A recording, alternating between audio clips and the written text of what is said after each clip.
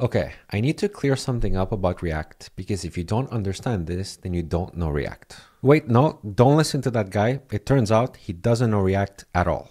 So what he was trying to say was that if in your React component, you go ahead and you declare a function like we have here render content, and then you use that function inside of the body of this component, that it would be fine and that there would be no performance implications. It turns out that actually it is not fine and that there are performance implications. And unfortunately, I am that guy and I've been doing this wrong for many years. So let me explain how this works. So if you're creating a function here inside of a component, because in React functions get recreated on every single render, the contents of the function, all of this JSX here, is going to be forced to get recreated every single time that this app component changes. And that is fundamentally different than putting the function outside of the component, which now changes everything, because now this function is a stable reference, and React can use the virtual DOM to figure out if it actually changed and if it didn't, it wouldn't do anything. That was not possible with the previous approach. But that's not all. There's also another problem that you can run into this, and I didn't because I never used it this way. If you were to do something like const and then put here some state variable,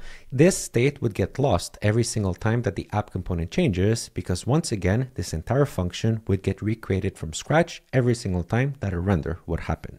So the conclusion is that you should never create a custom function like this in your React components and instead always opt to take that function and put it outside in a separate component and just use it like you would any other component. Now you know, now I know, and we're all better React developers for it. Please don't roast me in the comments.